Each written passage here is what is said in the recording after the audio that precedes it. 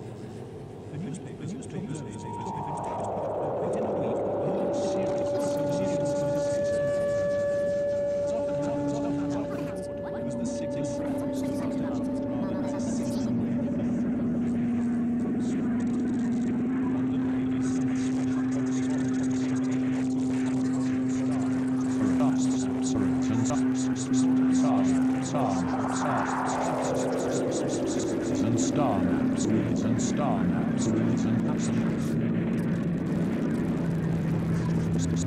is set out in high spirits thinking it a wonderful relief to a drab November. They returned from their chastened and star maps to North Africa. The reporters set out in haste with a device that enabled it a wonderful relief to Chasing star maps to North. As its name implies, the report was a device that in enabled it a wonderful relief to the other had taken in the previous month to North As its name implies, the report they gave orders to light up it was in such as Apparition appears in sky. Celestial celestial No stars for Christmas, say astronomers.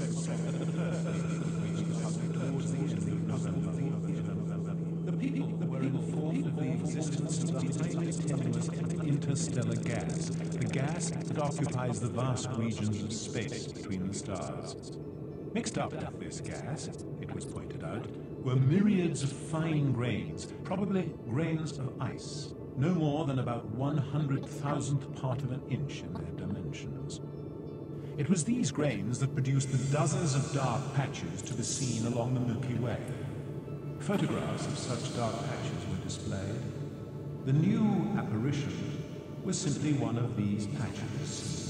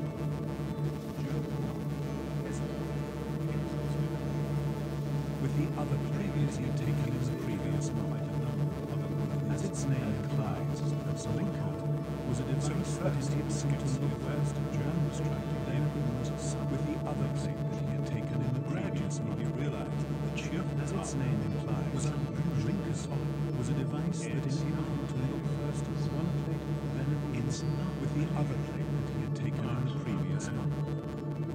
As its name implies, cup of tea. was a device that enabled him to look first at one plate then at the cup with the other plate that he had taken in the ah. previous Joe hesitated but stood his ground and stopped eyes. Yes, was a device that enabled It's just that you said I was to report anything unusual, and it really name implies, isn't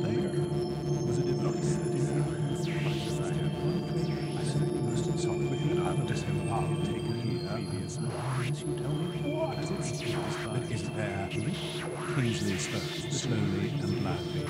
What isn't there? The day, sir. There's no sun. Kingsley grabbed his watch. It was about 7.42 a.m., long after dawn. He rushed out of the shutter into the open. It was pitch black, unrelieved even by starlight, which was unable to penetrate the thick cloud cover. An unreasoning, primitive fear seemed to be abroad. The light of the western lands generally, the shock was pushed through by night. For to them it was during the night hours that the light of the sun taken extinguished. One evening the light faded slowly in his eyes, as normally the case. Eight hours later, the advancing the clouds the sun as its day of The people of the eastern hemisphere experienced in full measure the horror of the inconvenience.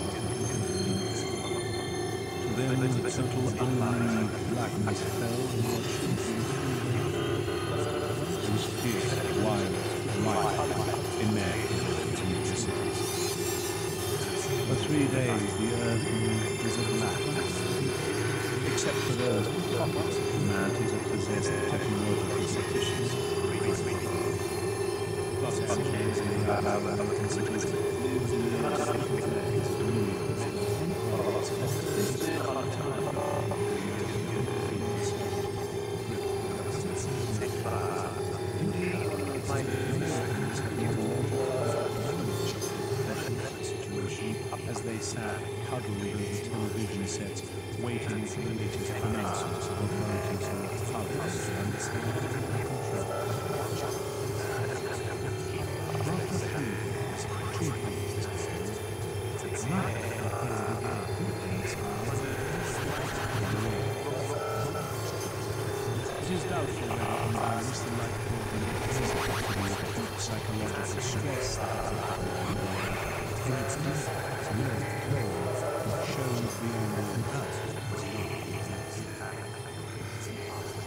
The rains were warm. The temperature fell slowly but steadily. The precipitation was enormous. The air had been so hot and humid that a vast quantity of moisture had been stored in it. Rivers rose swiftly and flooded their banks, destroying communications and rendering whole multitudes homeless. Yet this flooding was of minor consequence compared with the storms that swept over the earth. The release of energy in the atmosphere caused by the condensation of vapor into raindrops was beyond all precedent it was sufficient to cause enormous fluctuations of atmospheric pressure, leading to hurricanes on a scale beyond human memory and indeed beyond all credence. The temperature fell more and more. Rain changed to sleet and then to snow. The flooded fields were covered by ice, and as September wore on, the brawling rivers were gradually silenced as they were changed to immutable cascades of ice. By the end of September, the first gossamer thin outposts of the cloud reached the earth. The impact heated the upper regions of the Earth's atmosphere, as reports from Nortonstowe had predicted.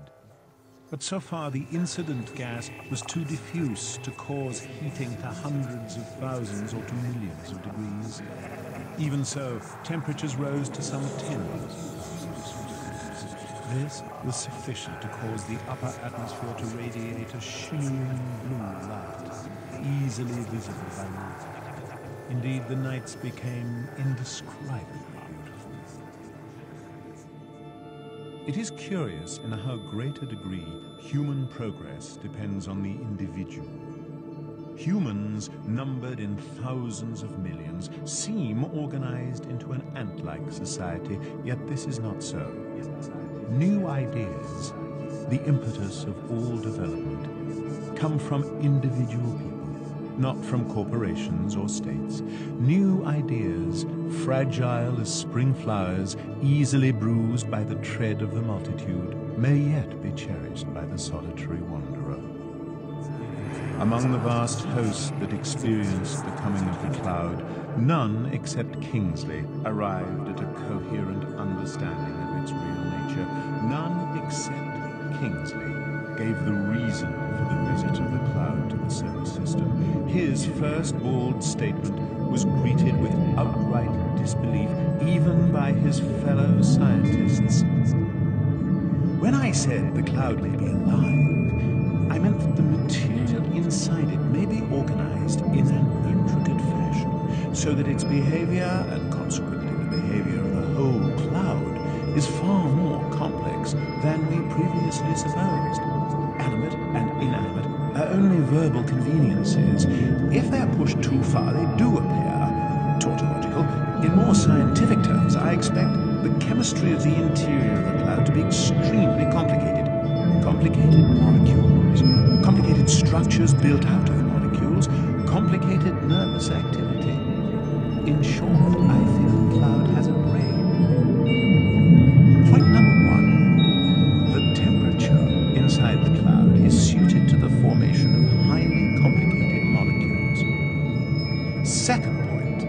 conditions are favorable to the formation of extensive structures built out of complicated molecules. The density inside the cloud is so high that quite large lumps of solid material, probably mostly ordinary ice, are almost certainly to be found inside it. I suggest that the complicated molecules get together when they happen to stick to the surfaces of these lumps. And from what source do the molecules of living creatures here on the Earth get their internal supplies of energy? And where is the cloud getting energy from? And as neither Neil nor anyone else seemed disposed to argue, Kingsley went on. Let's accept John's argument. Let's suppose that my beast is large.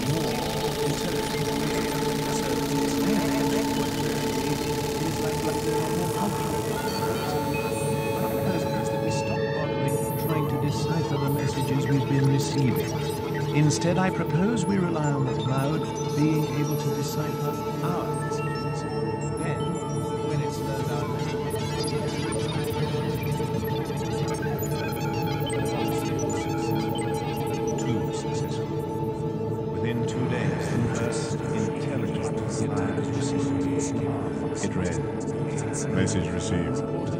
Information slight. Send more.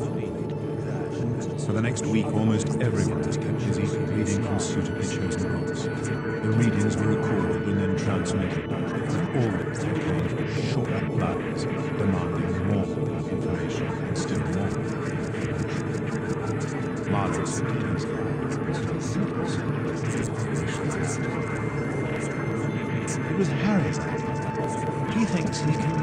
camera. Luckily, I have a Parkinson's disease.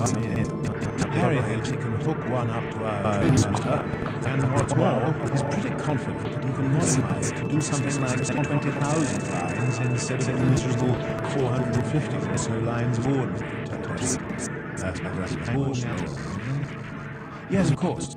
We ought to be able to transmit an excellent picture. An excellent. Just what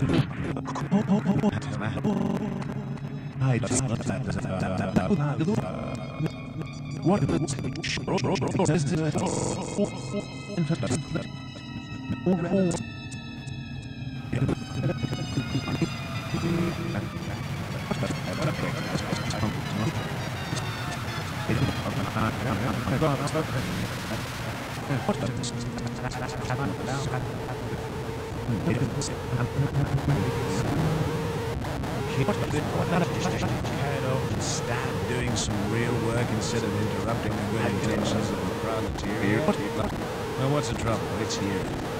The trouble is, we're not giving enough attention to the receiving, to us here as the receiving. Once we start to transmit with the television camera, we shall presumably get replies in the same form as we transmit. Yes,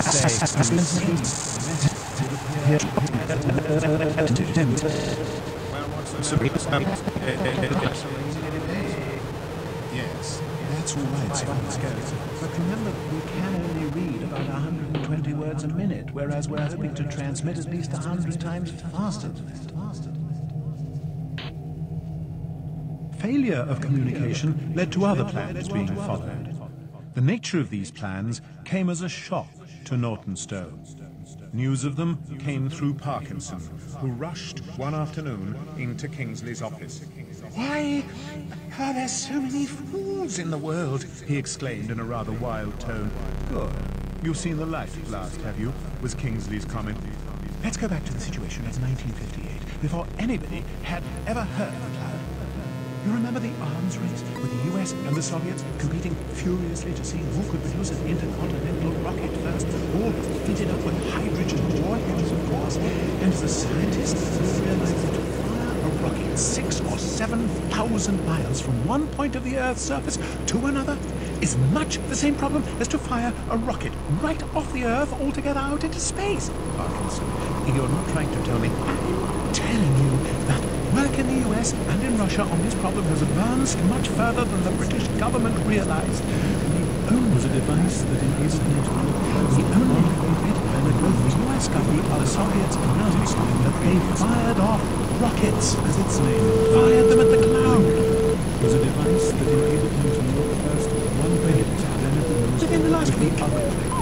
apparently, there's an undercover competition that we know nothing about. The US has been trying to outdo the Soviets and vice versa, of course.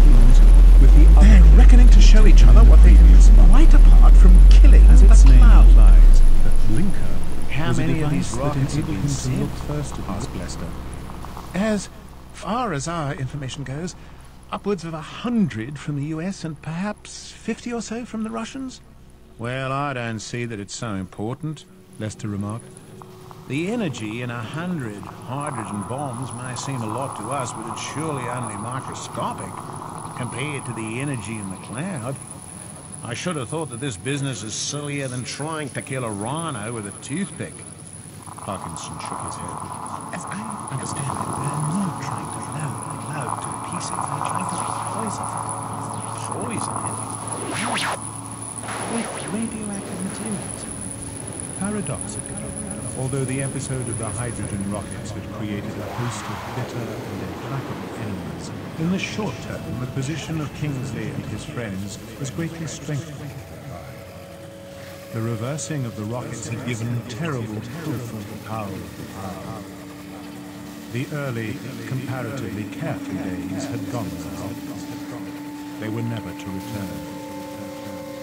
Consciousness returned about 36 hours after the end of the cloud's transmission. For some minutes, some minutes, some minutes, some were well, some were well, the full horror, full these conditions. It began with an uncontrolled twitching and with of view. This quickly developed into shuddering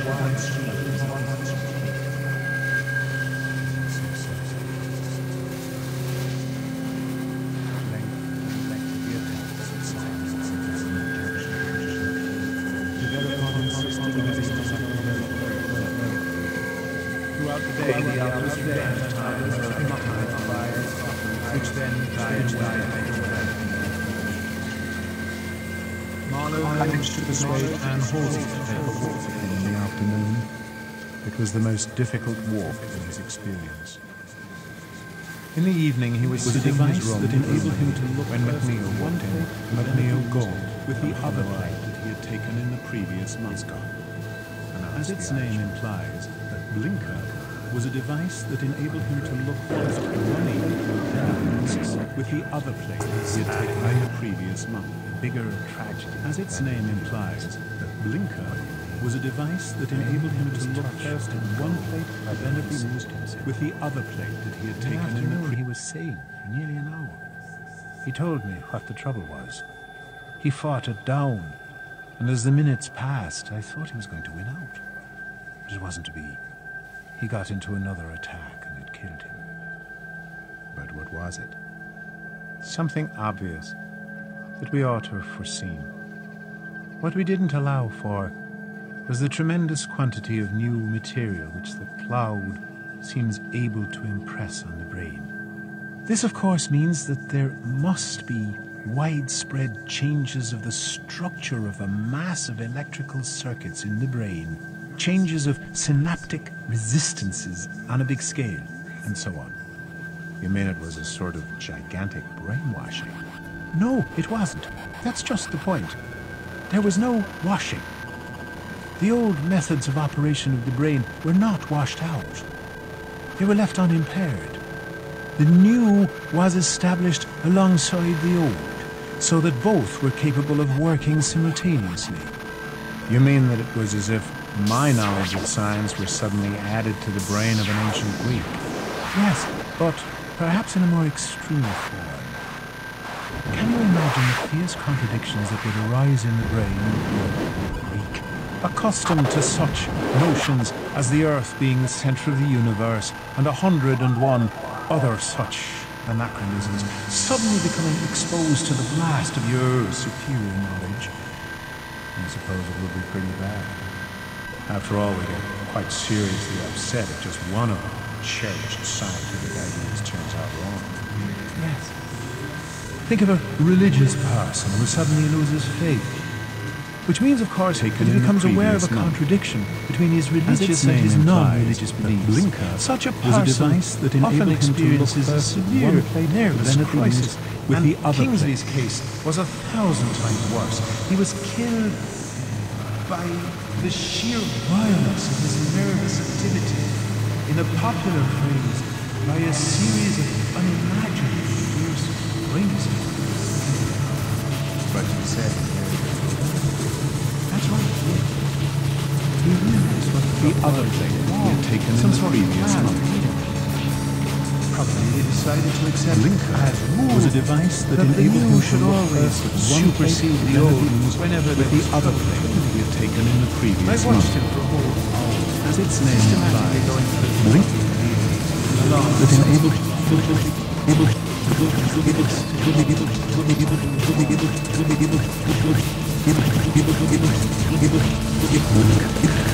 Device that enabled him to look first at one plate, then at the news with the other plate he had taken in the previous week. The device that enabled him to look first then at the news with the other month. The device that look first one and then with the had taken in the previous As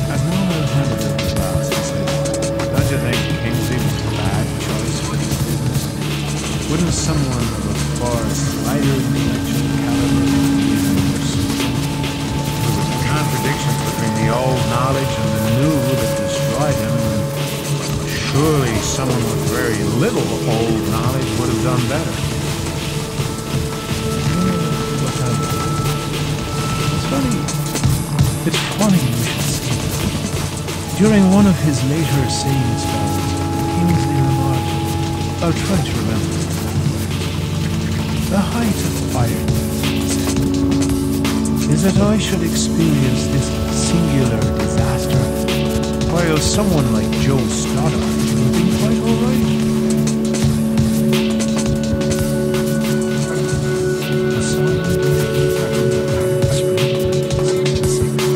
Which was bitter. And as the cloud moved outwards from the sun, it took up such a shape as to reflect in the Earth's direction a small proportion of the solar energy. This gave warm summer weather early in the month of May, which everyone found exceedingly welcome after the boiling So the cloud departed from the solar system. And so the episode of the black cloud, as it was ordinarily understood,